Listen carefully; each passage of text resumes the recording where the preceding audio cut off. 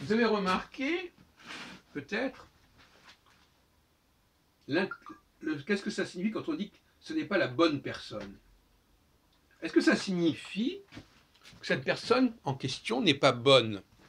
Pas du tout.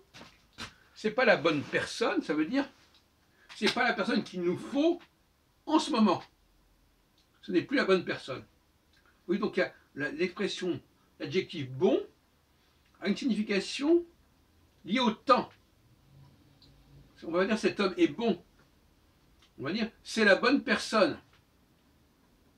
Donc c'est un usage qui existe dans la langue française et ailleurs.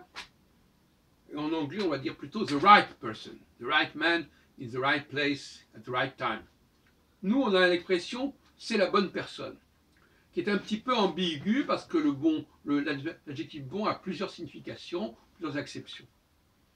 Mais cette exception du bon usage, un usage bon, c'est pas forcément euh, quelque chose qui est intrinsèquement bon.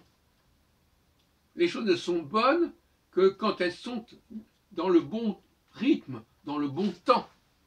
Si elles ne sont pas dans le bon temps, au bon moment, elles ne sont pas bonnes.